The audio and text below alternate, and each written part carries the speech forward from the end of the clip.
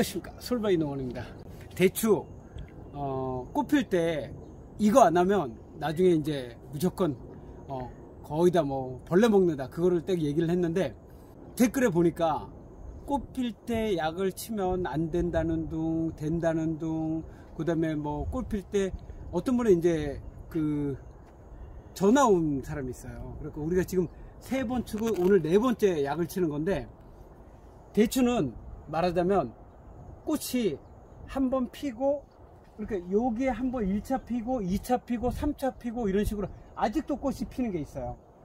어, 그러니까 왜냐면 왜 그렇게 꽃이 피냐면 대추 같은 경우는 그 해 세 가지에서 꽃이 피고 열매가 달리는 거예요. 포도하고. 그러니까 새싹이 자라면서 계속 꽃이 피면서 끝순까지 이렇게 꽃이 계속 피는 거야. 그러니까 1차, 2차, 3차 이런 식으로 계속 꽃이 피는 거야. 그러기 음. 때문에 대추 같은 경우는 음. 음, 주기적으로 꽃 필 때 주기적으로 반드시 약을 쳐줘야만 가을에 벌레 먹는 대추를 갖다가 안 먹을 수가 있어. 그걸 막을 수 있어. 그래서 결론은 얘기하자면 대추에 꽃이 필 때 약을 쳐도 된다. 그게 음. 맞는 겁니다. 왜냐면 이게 어, 여기 보시면 이게 지금 라이몬이라는 어, 그 약인데 여기 이제 살충제인데 이거는 대추라든가 고추, 배추 주로 이제 과일 나무에 이렇게 치는 약이에요. 뭐 이것도 쳐도 되고 하여튼 대추에 등록된 거는 지금 이겁니다.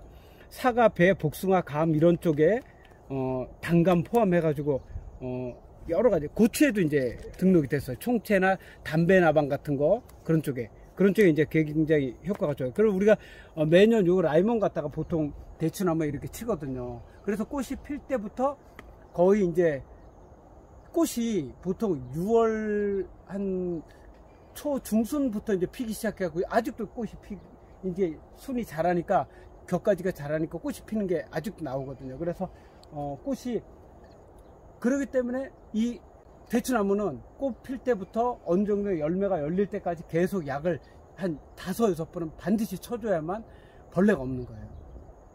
그래서 내가 이거를 어, 예전에 이렇게 배웠기 때문에 제가 더 확실한 거를 갖다가 알아보기 위해서 이 라이몬 이 회사한테 제가 전화를 했어. 한국 30이네. SG 한국 30.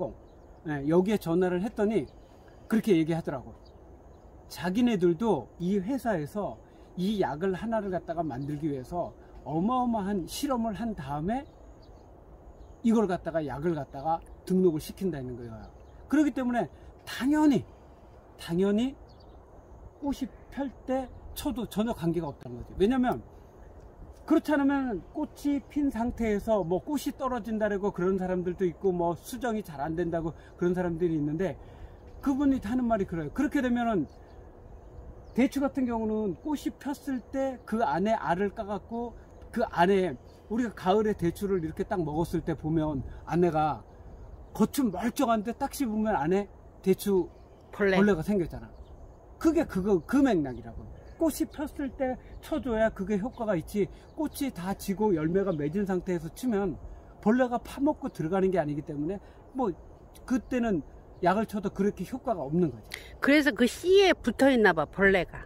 보면 이게 그치? 씨에 응. 응, 안에 아, 그 벌레를 음. 이렇게 벌레가 이렇게 과 안에 들어가서 이렇게 먹는 거잖아. 그래서 그렇기 때문에 어 제가 여기 라이몬 요거 대추에 치는 약 과일나무에는 주로 치는 약이에요. 그러니까 요거 해서 제가 확실히 이 회사하고 검증을 하고 이야기를 한 거기 때문에 대추는 꽃이 필 때, 필 때부터 이게 단계 단계 피기 때문에 최소한 세 네 번은 쳐줘야 벌레가 없는 겁니다. 그러니까 그거 걱정하지 마시고 치시기 바랍니다.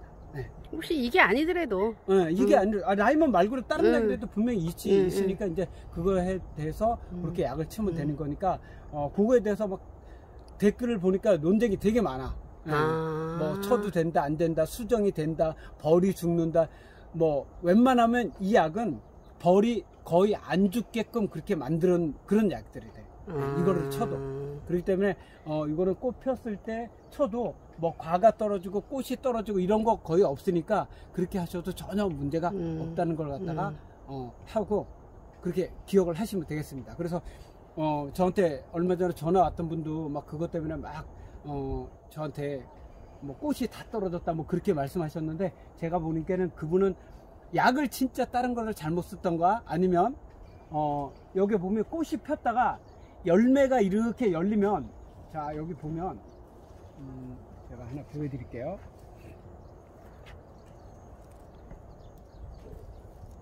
자 여기 여기 한번 까보세요. 꽃이 폈다가 어 요렇게 지금 열매가 이거 약간 이렇게 달렸잖아요. 이렇게. 네. 예.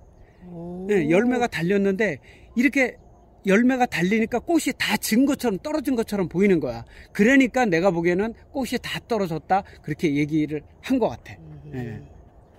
그래도 그분도 요거 잘 보시고서 다시 한번 이렇게 확인을 해주세요. 아마 제가 보기에는 어, 그랬던 것 같아. 그래서 일단 한번 약을 내가 쳐보고 음.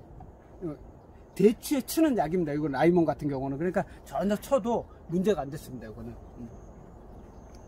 음. 그 대추뿐만 아니라 보니까 어, 과일류에 되게 많이 등록이 돼 있네. 그러니까 등록이 돼 있으니까 그렇게 쳐도 전혀 관계가 없어요.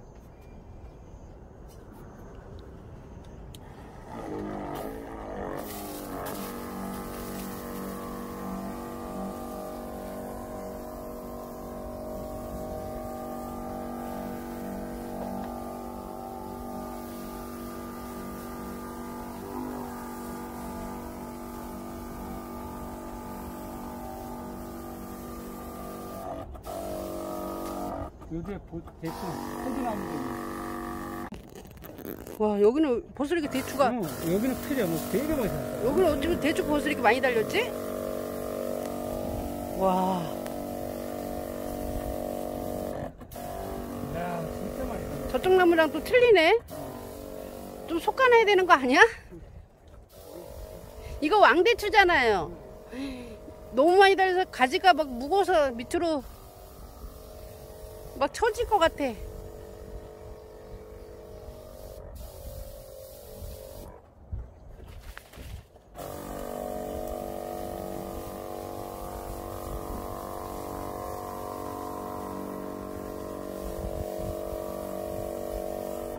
와, 한번 찍어 내가 한번 볼게. 정말 어마어마하게 달았다. 와, 너무 다닥다닥. 어, 정말 달린 것 같아. 다가붙었다 이거. 와, 이야. 계속 꽃 피고, 어, 이런데 꽃이 피고 이렇게 지금.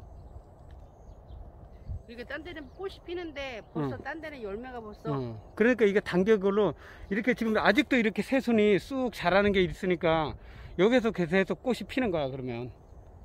어, 지금 어마어마하게 달렸어 이게.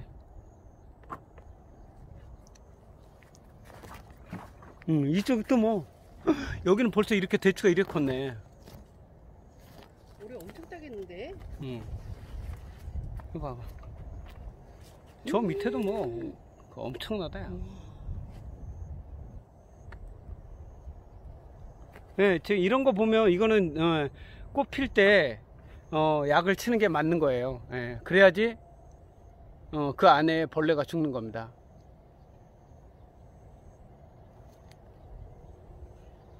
와, 정말 많이 달렸다. 그러니까. 지금 여기 보면 이것도 지금 새순이 이 지금 지금 새순이 이렇게 막 이렇게 올라왔어. 그러면 여기서도 지금 꽃이 막 이렇게 피기 시작하는 거야.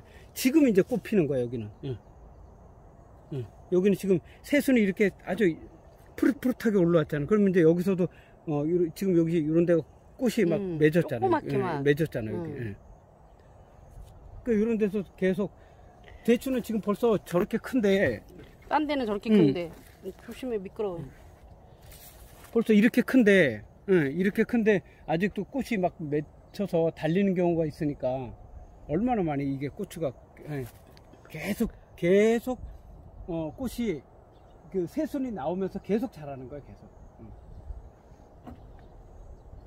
그러니까 어, 꽃이 폈을 때도 꽃이 폈을 때 어, 이게 단계적으로 세- 그 계속 어, 꽃 대추가 이렇게 자라는 거라서 대추가 자라면서 꽃을 피는 거기 때문에 이렇게 꽃이 폈을 때 약을 쳐줘야만 어, 가을에 대추를 먹었을 때 어, 벌레 먹는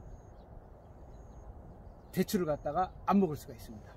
그러니까 그거 꼭 명심하시고 어, 큰 걱정 없이 그렇게 치셔도 관계가 없다는 걸 갖다가 다시 한번 말씀드리겠습니다. 자 이상 솔바이 농원이었습니다.